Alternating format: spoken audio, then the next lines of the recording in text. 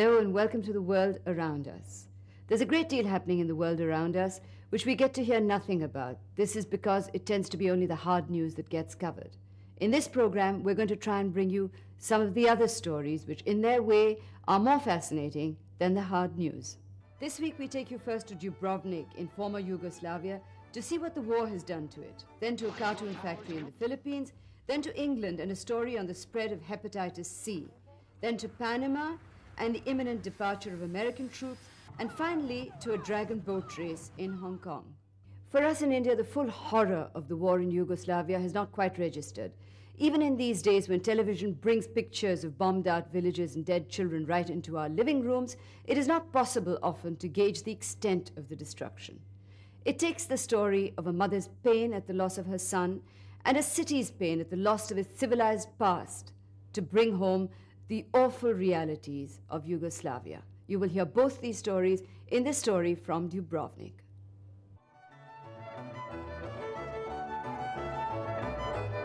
Chamber music in a palace on a summer's night. This is how many people see the city of Dubrovnik. It's a cultural treasure on Croatia's Adriatic coast. At first glance, the violent breakup of Yugoslavia seems to have spared Dubrovnik. Though only a short drive from Bosnia, there's been no serious gunfire here for more than three years. The scars of war are not obvious. A few perforated rooftops, the splatter of a mortar shell on a public square. It's been cleaned up and patched, and the music is still playing.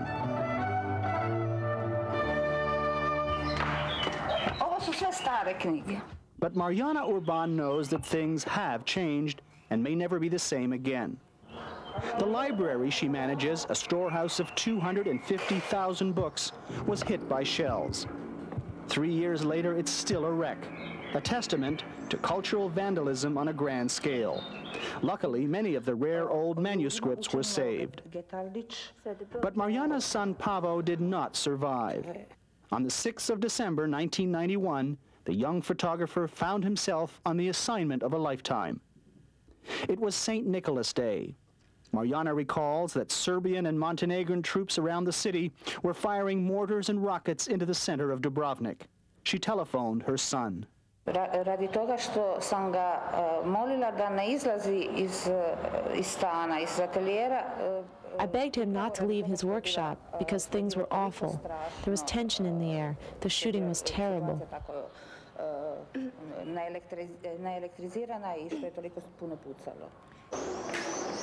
But Pavo couldn't resist. From under the cover of this archway, he shot a roll of film. One by one, the shells dropped closer to his position. Mariana says something compelled Pavo to step out into the open. He snapped this one final blurred picture, then a shell tore him apart. It was the last photograph of his life.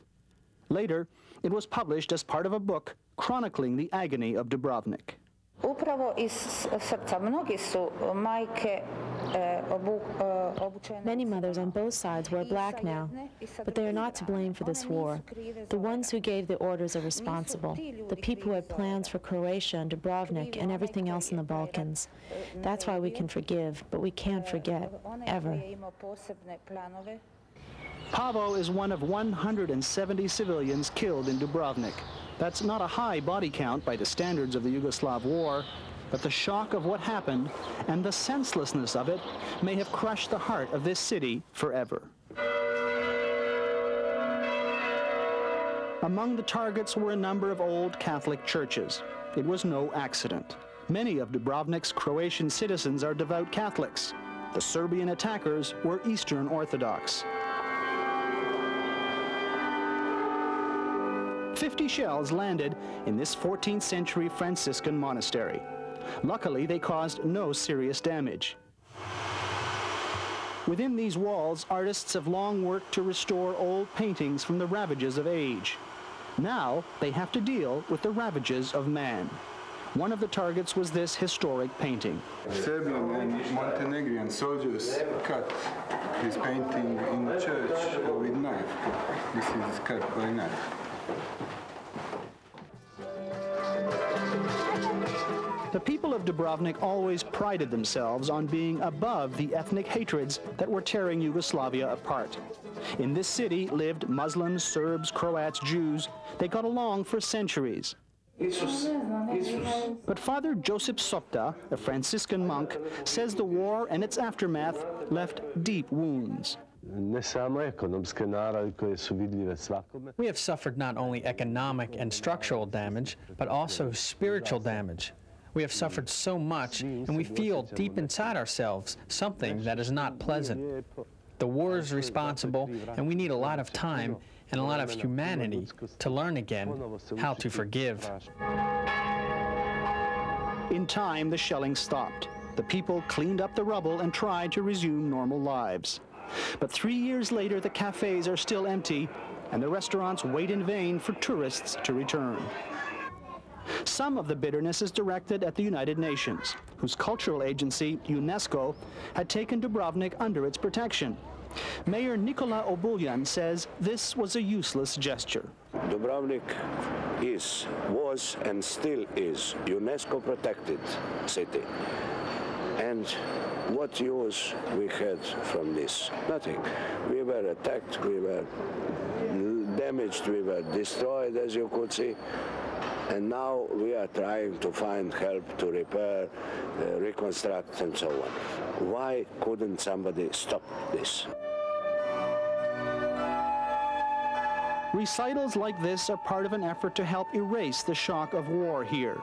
But as long as Croats, Serbs, and Muslims continue to fight one another in neighboring Bosnia, life here will not return to normal, and the nearby war will continue to cast a shadow over this city of culture. This is Claude Adams reporting.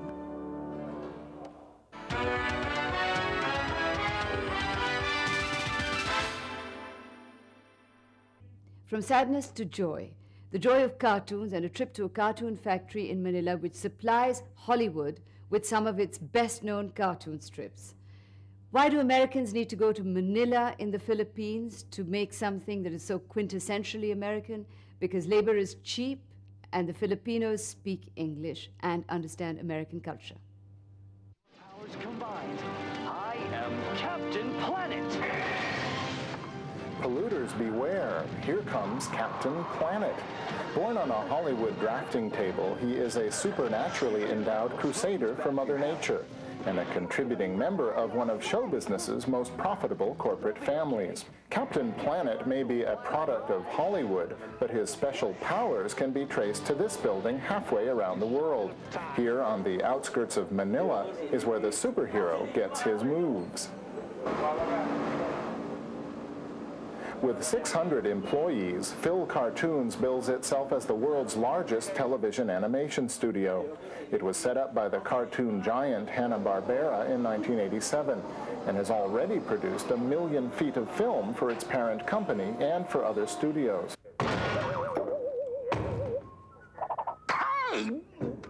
Where are you're going, Flintstone. For more than 30 years, the major cartoon companies in the United States and Europe have relied on low-cost labor, mainly from Asia. Despite advances in computer technology, nearly all cartoon animation is still done by hand. Ricky Yowinko is one of Fil Cartoon's top animators and he's one of the reasons why the Philippines has started making inroads on traditional animation powerhouses like South Korea and Taiwan. Educated in English, Yowinko has no problem understanding the detailed instructions sent by headquarters in Hollywood. And as an added bonus, he gets the jokes. You know, you have to get the feel of the gag, the, the kind of humor that the Americans want. Uh, it has to be, you know, you have to be a bit of a loony or crazy. Bill Dennis is the studio's general manager. He says Yowinko's American-style sense of humor is good for the cartoons and good for business.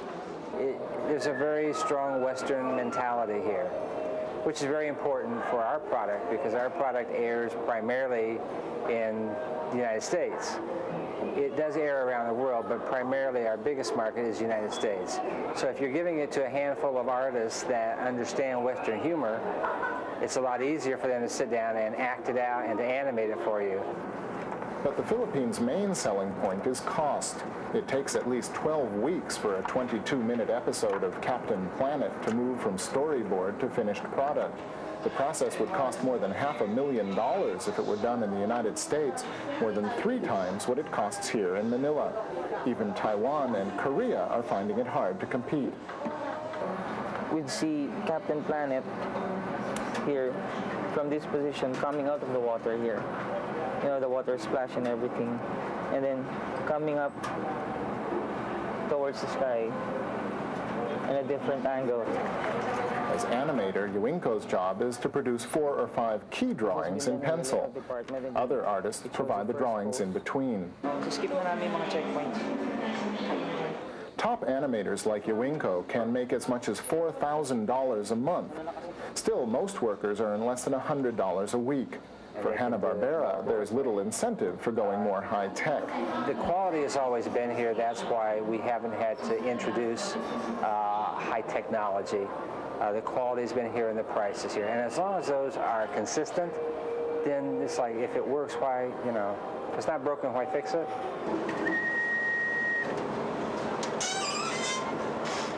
The drawings are copied onto acetate before going to the painters. Computerized painting systems are gaining ground worldwide, but for now it's a job for sharp eyes and nimble fingers.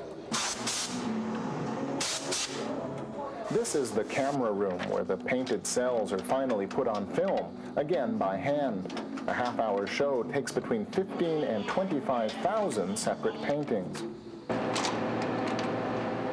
Here, minus the music and sound effects, is the moment Yuinko has been waiting for. By your powers combined, I am Captain Planet! Well, I guess it's okay. Uh, it looks good so far. the power is yours! For a superhero as for his animator, it's all in a day's work. From Manila, I'm John Miller reporting.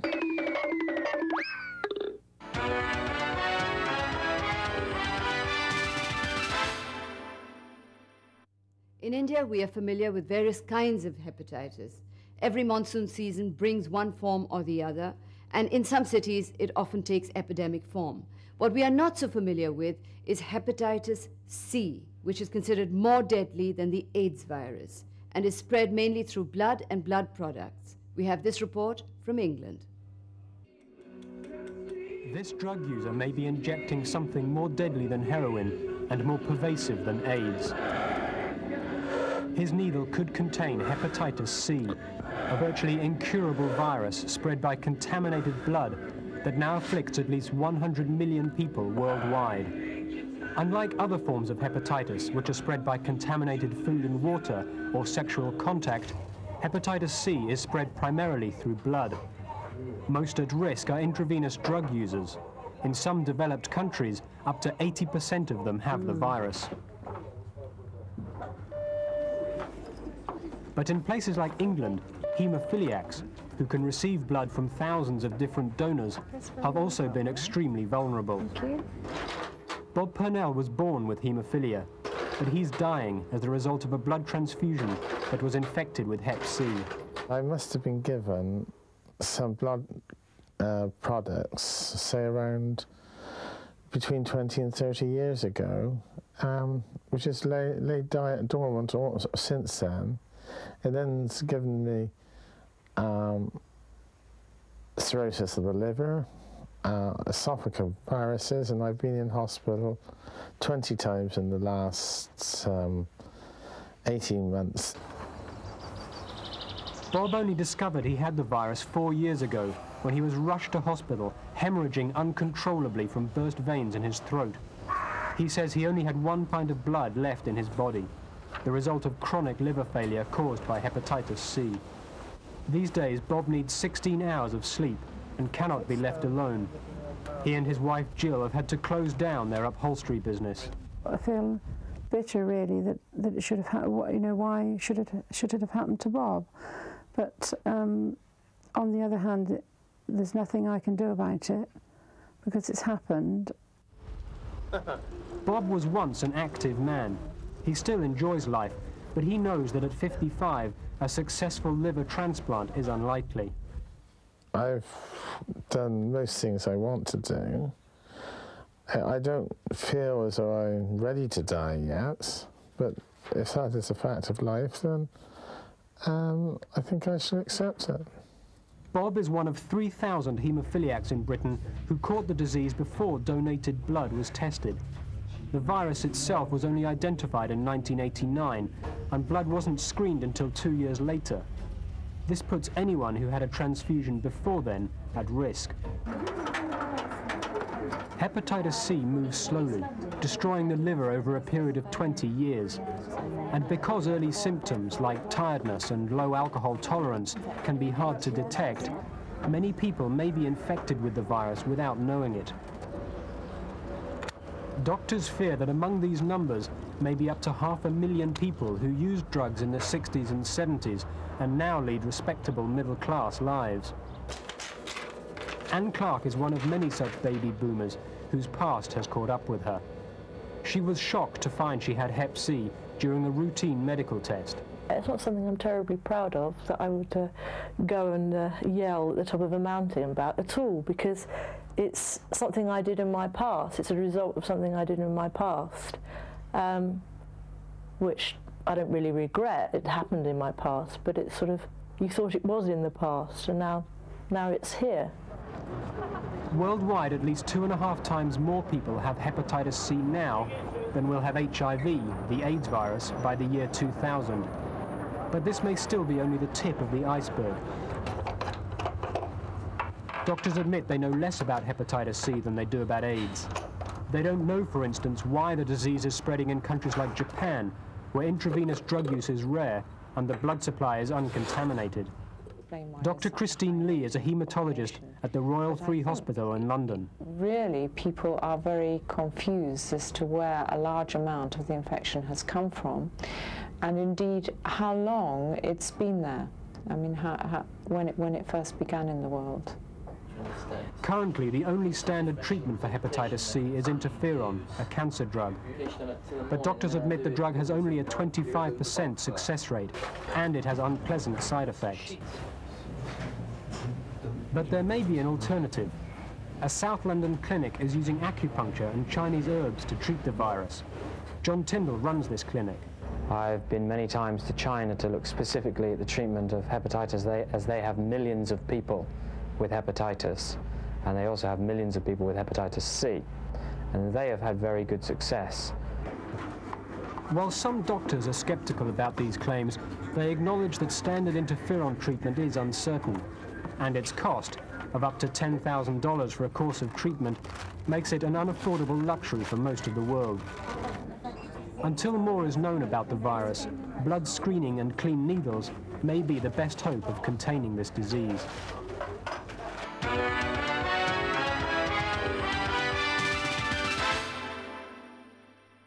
And now to Panama in faraway Latin America, which is facing an unusual problem learning to live without foreign troops. Generally, where American troops have gone, there have been demands for them to go home and hostility from the local population. But in Panama, the story is different, both for the Panamanians and the departing troops. Whether it's an early morning jog or jungle training for the next war, U.S. troops at the Southern Command in Panama are a dominating force. These 10 Army and Air Force bases were the launching pad for the 1989 invasion that toppled Panamanian dictator Manuel Noriega. U.S. military operations all across Latin America are coordinated here. For many Panamanians, the bases have long been a symbol of U.S. hegemony, humiliating proof that their nation has never been truly independent. But all this is supposed to change at the end of the decade. The Panama Canal will be turned back over to Panama, and the Southern Command will transfer to Miami. Thousands of troops and dependents have already begun the retreat. I'm kind of like a lot of people around here. I don't have a plan. Lars Morales feels like a Panamanian. Morales' grandfather worked as a riveter on the canal locks, and his father was a canal company accountant. But he'll soon lose his job as a base contract inspector. If I could stay here, even, uh, you know, my my government job will run out, but if I can stay in Panama and uh, raise the kids, I'd be happy. Good morning. On paper, the American departure looks like a historic opportunity. Besides the canal, Panama gets 4,200 buildings worth an estimated $30 billion. But instead of uncorking champagne, Panamanians are getting cold feet. They're about to lose 5,000 high-paying base jobs one of the first to go will be Julio Flores, an electrician at Fort Davis. During the invasion that ousted Noriega, he was honored for his round-the-clock labor. But come September, Flores will be ousted from his $12 an hour job when Fort Davis shuts down. Una gran cantidad de, de panameños a huge number of workers will lose their jobs. We won't die of hunger because Panamanians know how to improvise, but salaries will drop and we're going to have to tighten our belts. These days, fervent nationalism is no longer in fashion. Panamanians are more worried about 14% unemployment, and many complain that their government is unprepared to create new employment on the property it will inherit we've had the experience where these sections that are being, uh, as treaty implementation goes into effect, they turn over areas and they quickly, the grass grows up over your head and the, uh, the people tear the buildings apart to get the aluminum to sell and they, these areas are just going nowhere. Fort Amador was supposed to be transferred to Panama this year, but the government isn't ready and has requested a delay. Albrook Air Station is now a weed-infested drag strip. Despite the slow start, there may be enough time to attract major investment to the canal zone. Carlos Mendoza, who runs the government agency that will administer base properties, says tentative plans include everything from container ports and marinas to a Panamanian Disneyland.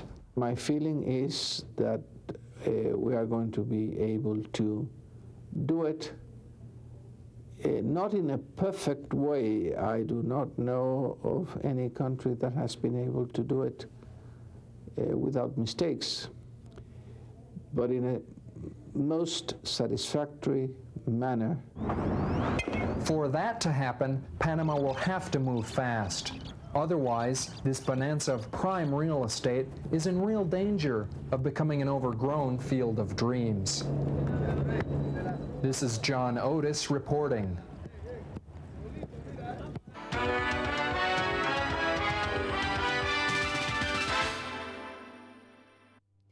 End on a sporty note with a report on dragon boat racing in Hong Kong, which has developed into a major international competition with teams coming from all around the world for what used to be a Chinese sport.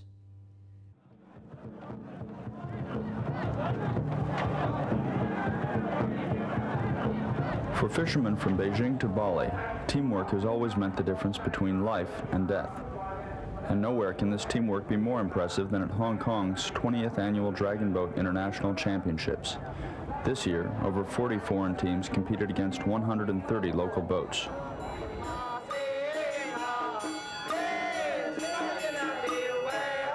Dragon boats are traditionally raced during the Tuen Ng, or Dragon Boat Festival, celebrated on the fifth day of the fifth lunar month of each year.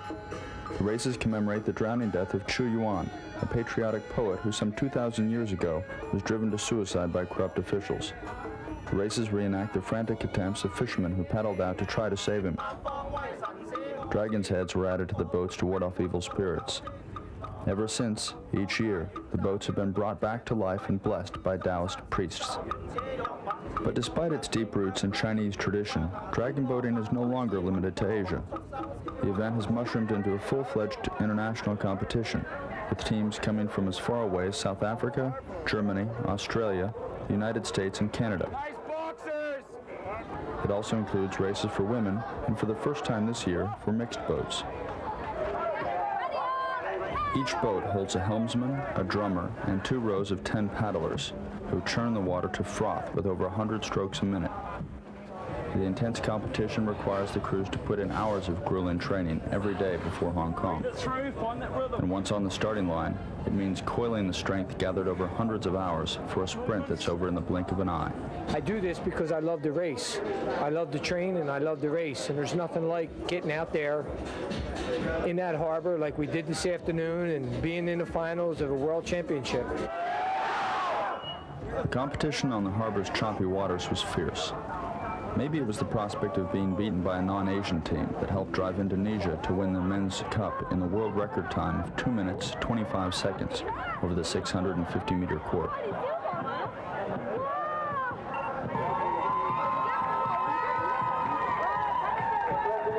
All the noise and all the breathing, splashing, water. I mean, I still have the smell of Hong Kong Harbor on me. I haven't gotten a shower yet. But even if Pete McNamara weren't leaving the sport to spend more time with his family, this would still be his last race on his beloved harbor. That's because next year, the bay where the races have been held since 1976 will be filled in with granite gravel, consigning the proud dragons to a polluted river in a faceless new suburb. Whit Mason reporting.